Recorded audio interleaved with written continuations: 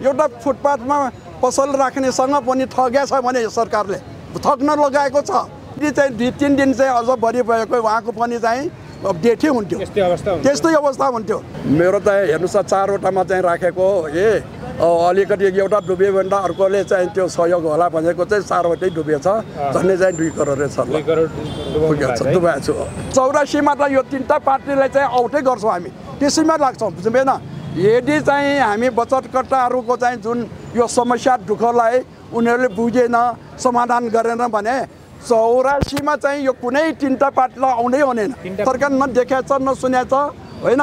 यो त बहुत दुःख लाग्यो। अहिले त हामी नेपालीहरू चाहिँ भनौँ न अब नेपाली भएर चाहिँ बाँच्न यहाँ गाह्रो भइसकेको छ। अब बेला फेरि पाइ पाइ गरेर धरिरहेको पैसा सबै सहकारले डुबायो। यो सरकारै होइन भने यो यो के सरकार हो मैले त बुझ्न सकेको छैन होइन? आत्महत्या गर्दा कति चाहिँ डिप्रेसनमा गएछ बुझ्नु भएन। अब त्यो सरकारले देखेकै छैन सुनेकै छैन सुन्न चाहँदैन हेर्न चाहँदैन। सहकारीमा चाहिँ कर्मचारीहरू सञ्चालकहरू सबै चाहिँ उनीहरूले परिचालित ठग्नलाई जनतालाई ठग्न लोभ देखाउनु सिधा सादालाई एउटा फुटपाथमा पसल राख्नेसँग पनि ठग्या छ भने यो सरकारले।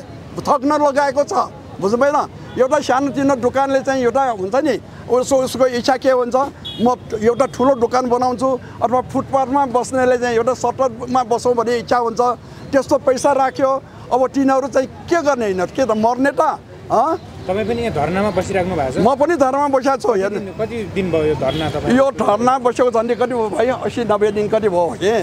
अब निकायहरू आएछ यहाँ सम्बन्धित निकायहरू आएर तपाईँहरूको माग के हो? हामीले कसरी पुरा गर्न सकिन्छ भनेर त्यो निकायहरू आएको छ? कुनै पनि निकाय आएर चाहिँ आउँछ आश्वासन दिन्छ मात्र हो किन मैले भनिहालेँ नि त्या- त्यहाँ लेखाएको छ हेर्नुहोस् तिन पटक चाहिँ मन्त्रीहरू आएर पनि चाहिँ सहमति गराएछ सही गराएछ बुझ्नु भएन यो यो यो माइतीघर मण्डलामा आएर पनि चाहिँ त्यो रञ्जना के पहिले चाहिँ मन्त्री थियो सहकारी मन्त्रीहरू आएर चाहिँ सही गरेकै हो र सहमति गरेकै हो।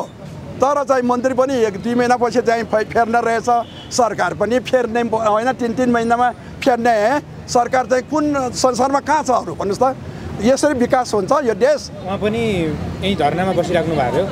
उहाँ पनि आउनुहुन्थ्यो। बुझ्नु भएन धर्नामा बस्नुहुन्छ। हाम्रो चाहिँ के छ भने अहिले रिले अनसन छ छ छ घन्टाको। बुझ्नु भएन छ छ घन्टाको रिले अनसन छ। पहिले हाम्रो चाहिँ महासङ्घको चाहिँ अध्यक्ष कुशलभ केसी उहाँ चाहिँ सात दिनसम्म केही नखाइकन केही नपिकन चाहिँ अनसन बसेको बुझ्नु भएन। उहाँको अवस्था त झन्डै चाहिँ हेर्नुहोस् न त्यस बेला पनि चाहिँ उहाँको चाहिँ अनसन टोर्यो खुवाएर चाहिँ हामी चाहिँ सहमति गर्छौँ तपाईँहरूको माग सम्बोधन गर्छौँ पुरा गर्छु भनेर। होइन? यदि चाहिँ दुई तिन दिन चाहिँ अझ बढी भएको उहाँको पनि चाहिँ डेटै हुन्थ्यो। त्यस्तै अवस्था हुन्छ त्यस्तै अवस्था हुन्थ्यो। होइन? तर सरकारले नसुने के भने सरकार नदेखाएको छ नसुनेको छ होइन? यो त बहुत दुःख लाग्यो। अहिले त हामी नेपालीहरू चाहिँ भनौँ न अब नेपाली भएर चाहिँ बाँच्न यहाँ गाह्रो भइसकेको छ बुझ्नु भएन यो यो देशै के होला भनेर चाहिँ चिन्ता भइसक्यो। किनभने ठगै ठग जनताले लुट्याछ लुट्याछ। एउटा देश लुट्ने चाहिँ मन्त्री तहका सबै होइन प्रधानमन्त्रीदेखि लुटिरहेका छ। अनि दो दोस्रो चाहिँ क्याटागोरीकाले चाहिँ प्रदेश प्रदेशमा लुट्न पठाएछ यो प्रदेश किन चाहियो र यो त बिहार भन्दा पनि सानो देशमा सातवटा प्रदेश होइन? के को काम भन्नुहोस् त? त्यो किनकि कार्यकर्ताले त्यहाँ जाऊ लुट्न जाऊ तपाईँहरू पद पाइन्छ भनेर यहाँबाट तपाईँहरू पठायो। अनि अर्को थर्ड क्याटेगोरिजका चाहिँ जुन कार्यकर्ता छ उनीहरूले सहकारी है गाउँ गाउँमा सहकारी घर घरमा सहकारी बुझ्नु भएन खोल्न लगायो किनभने अब यो सहकारीमा जति डुबेको छ मध्यम वर्गका हामी जस्तो कर्मचारी सानोतिनो व्यापार हुनेहरू चाहिँ डुबेको हो बुझ्नु भएन अनि फुटपाथमा पसल राख्ने दुःख गरेर होइन? त्यस्तो अहिले त के छ भने समस्या चाहिँ कसैले चाहिँ सहकारीमा पैसा राखेर उसले चाहिँ ब्याजबाट अब घर चलाउने होइन महिनाभरि घर चलाउने बच्चाहरूलाई स्कुलमा पठाउने फी तिर्ने होइन डेरा बाल तिर्ने बाहिरका चाहिँ यहाँ धेरै छ नि बालमा बस्ने। उनीहरूको चाहिँ त्यो सबै चाहिँ सपना चकनाचुर गरिदियो। यो सरकारै होइन भने यो यो के सरकार हो मैले त बुझ्न सकेको छैन होइन। यो प्रजातन्त्र लोकतन्त्र गणतन्त्र भन्छ होइन। यो कुनै तन्त्र होइन लुटतन्त्र हो ल यति चाहिँ मैले चाहिँ लाग्यो। जस्तै उहाँको न धन रह्यो न जिउ रह्यो। न जिउ रह्यो न धन रह्यो उहाँले कसले पाल्छ भन्नुहोस् त उहाँको बच्चा छ उहाँको श्रीमती छ सम्पूर्ण पैसा चाहिँ एक करोड पे अब भन पैँतिस चालिस लाख त्यहाँ छ त्यसको ब्याज कति आउँछ भने झन्डै चाहिँ महिनाको एक करोड पैँतिस लाख रुपियाँ सहकारीमा जम्मा गर्नु भएको छ हजुर। पाँच लाख रुपियाँ नपाएर अँ पाँच लाख चाहिँ सञ्चालकहरूले दिएन। अध्यक्षहरूले। पाँच लाख माग्दा दिएन। पाँच लाख रुपियाँ देऊ अपरेसन गर्नु पर्यो भन्दाखेरि अपरेसन पैसा नदिइकन त अपरेसन गरेन। होइन? जहाँ पनि पैसा आएकै हुन्छ चलचल होइन? अब त्यो हुँदाखेरि उहाँले चाहिँ मृत्युवरण गर्नु पर्यो अब योभन्दा दुःख के हुन्छ ल भन्नुहोस् त? राजेन्द्र इसापेट हो होइन? उहाँ पनि चाहिँ धन्य चाहिँ होला मेरो विचारमा अडसाठी उनसत्तरी वर्ष भयो होला। अब तपाईँलाई के भन्नुहुन्छ? सरकारलाई सम्बन्धित निकाय र तपाईँहरू सधैँ यहाँ बसिराख्नु भएको छ। उहाँहरूको जस्तै हालत भोलि तपाईँको पनि मेरो पनि हुनसक्छ अरूको पनि हुनसक्छ कति भइसकेछ पनि। एउटा न्युजमा नआएको मात्र हो। होइन कति चाहिँ हस्पिटलमा छ?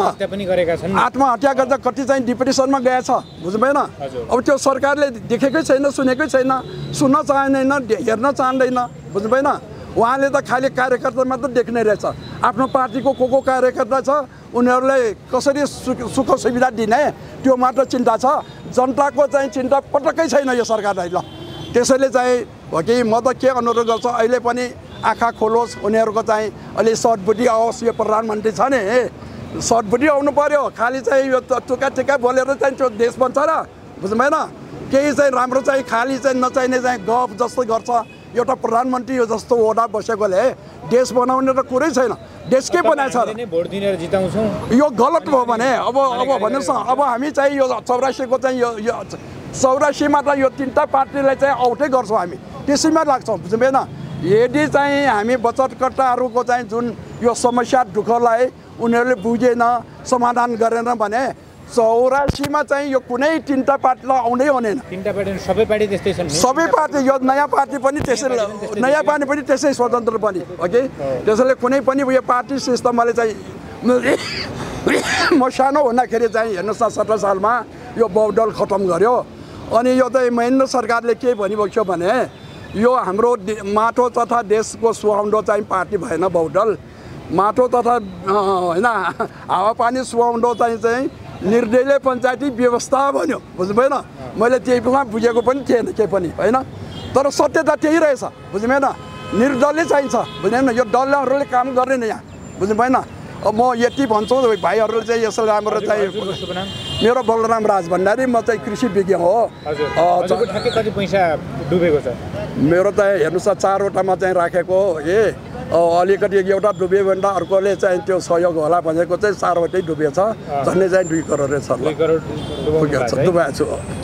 मेरो चाहिँ भक्तपुरको जग्गा जग्गा बेचाएको छु घर बेचाएको छु। घर बेचा छ आफ्नो पैसा चाहिँ अब भनौँ न।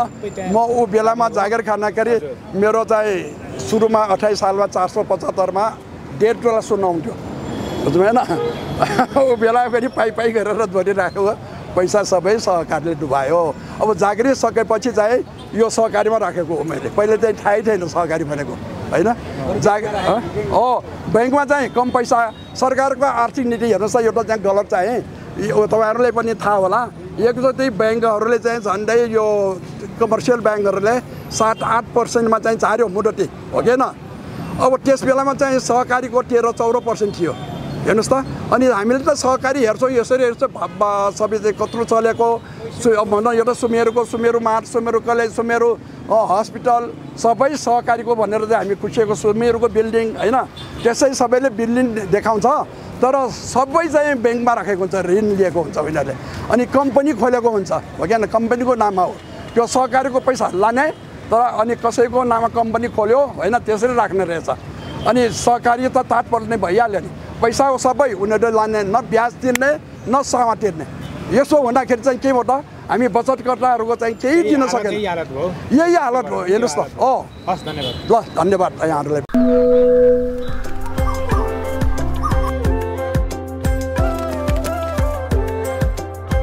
Música